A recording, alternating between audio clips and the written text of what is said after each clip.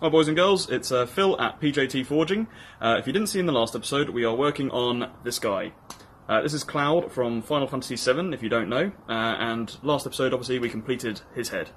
Um, this next episode, we're going to be working on the body and on the sword, and I am hoping it's going to be easier than this. Um, I'm thinking there's going to be a lot less horrible, niggledy pingledy, tight angles. So, uh, with any luck, it will be a slightly simpler process, but we shall see. So, there's nothing to do but to do it, so let's get on with it and see how it goes. Thank you for watching.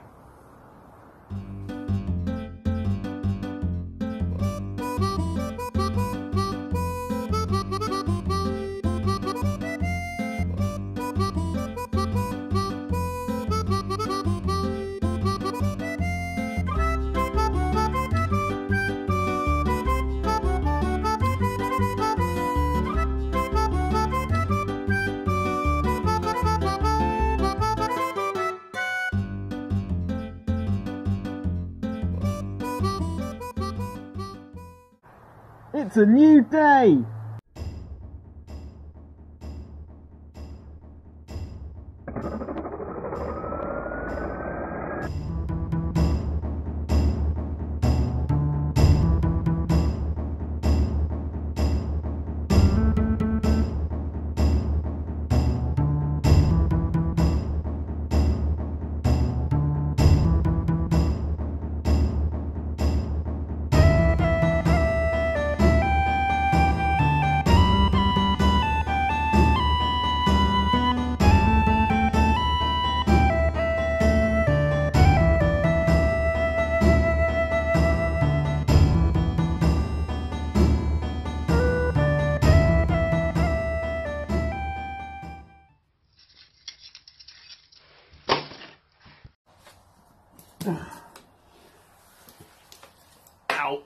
There we go. That was a lot of grinding. Um, but we got there and it is all done. But as you might be able to tell, I've run out of light. So uh, this is all I'm going to be able to do for today. Um, what I will do now is probably just mark out the sword, I think. Right then, for the sword, I am not going to be doing the 3D polygon version of this. All I've done instead is I've bought a piece of 6mm thick plate steel uh, and I'm just going to simply cut this shape out and I'm going to grind in the bevel. Um, I will drill some holes still for these and I'll try and square them off using files I think.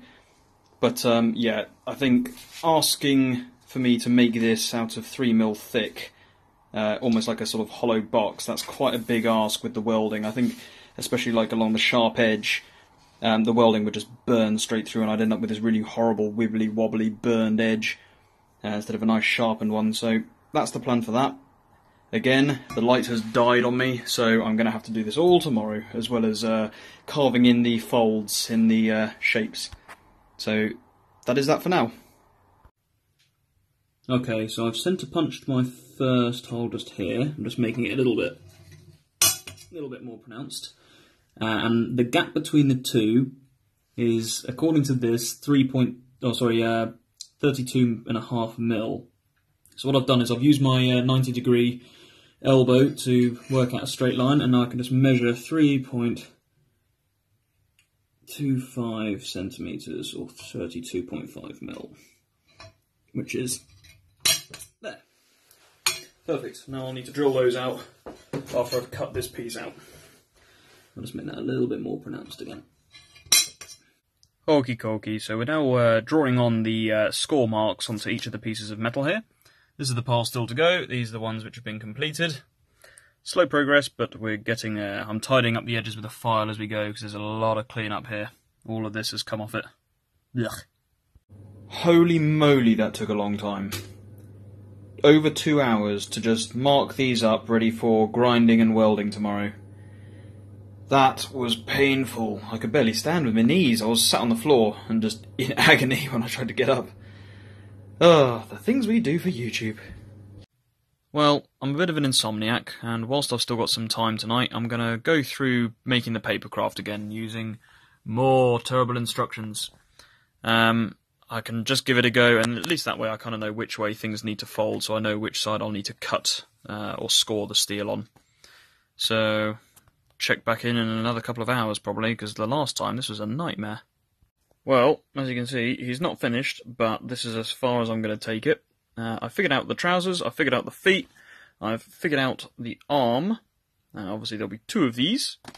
Um, and then this part will be the top half of the body. The middle part's still missing because uh, I ran out of steel and I still need to cut that one out. So I'll have to come back to that later. But uh, this was a good experiment to figure out uh, exactly what I need to do. But it's now quarter to two in the morning, so I think that's a good time to call it a day. Let's get started on scoring! So, whereas when I was doing the head, I cut out all the pieces, scored them all, and then fit them up all at the same time, for this one I'm going to be doing it piece by piece. So obviously here we've kind of got his, like, Hakama pants and his uh, sort of waistline. Uh, so I'm going to start off just welding these two together, and then this is going to act as a sort of a reference for the rest of the shape, I believe. Um, but as you can see, that goes together quite well. It's not perfect, but it's not terrible. Um, might need a bit of hitting with a hammer once it's welded just to get it completely into shape. Well, with frankly spectacular timing, the uh, beautiful British winter has decided to set in and it has absolutely chucked it down on everything I'm working on. So the welding has had to stop, but I've carried on grinding because why not?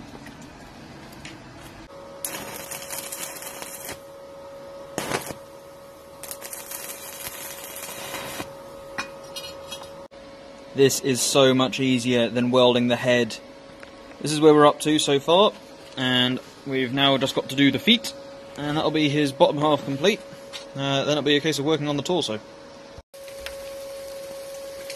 Well, here we go again. I managed to just get the second foot welded. As you can see, it's still hot. Um, I've been welding in the rain. I, there's probably a big no-no in regards to safety because obviously electrics, water, high voltage, high ampage. What could possibly go wrong? But I wanted to get it done. I think I might try and just weld the feet on and then call it a day there. There we go. Bottom half all done. It's still raining, still miserable, so uh, I think that's probably where I'm going to have to leave it for today. I've still got to do all of the top half pieces and the arms, but that's going to have to wait, I'm afraid. All things considered, not bad really. Hey, boys and girls, uh, as you might be able to tell from my voice, uh, tonsillitis has been absolutely kicking my ass for the last couple of days. So uh, I apologise for the delay in this video. Um, unfortunately, going outside in the cold and inhaling some metal fumes is probably not in my best interest at the moment. So uh, it won't really matter in the grand scheme. You'll still be seeing this video as and when it's uploaded, but just from my own point of view, I don't like leaving you guys waiting. So sorry about that. So I realised that both the feet had gotten full of water uh, when I'd been washing it. I'd left it in the sink to cool down, and they'd uh, they'd filled up with water, uh, and the the hole they'd leaked through was so small that the water couldn't escape. So I've drilled a couple of holes in each of the feet, and what I'm going to do now is uh, heat them up with the uh, little little blowtorch here, and hopefully that'll be enough to uh, let it come out as steam. there we go. Woo woo! Cloud the steam engine. Right, some good news and some bad news. Good news is the final piece of steel I've needed to arrive has uh, finally got here for the last two pieces. Um, that's all marked up and ready to go whenever. Uh, the bad news is this tonsillitis that I've had for the last basically week and a half is still absolutely owning me at the moment. Um, whilst my voice is a lot better than it was, I'm still feeling as rough as a bad disaster. So uh, I think we're during my day job, I've been working a couple of night shifts. Uh, it just hasn't given my body much of a chance to uh, recover and heal, so I'm still feeling the effects of that. Um, I was going to try and finish this video on part two, but uh, unfortunately, I'm going to Latvia uh, for a couple of days, in a couple of days. Uh, and I think it's more important for me to start feeling better before that, rather than uh, you know complete a metal sculpture. So I'm sorry that is what it is, but um, you know sickness is sickness. What can you do? So this will be the end of part two. Uh, I'll upload part three as and when I, I get back, uh, or rather, I'll make a start on part three as and when I get back, and I'll upload that as soon as I can. So, apologies for the delay, but again, I'm more worried about giving you guys content than uh, necessarily rushing things and uh, doing a bit of a slapdash job. Um, if you like this video, like, comment, subscribe, all that jazz, that'd be great. It really helps me out when you do that. Um, again, I'm sorry, what can you do? I'm as frustrated by this as you guys are, but never mind. See you on the next one. Cheers, guys.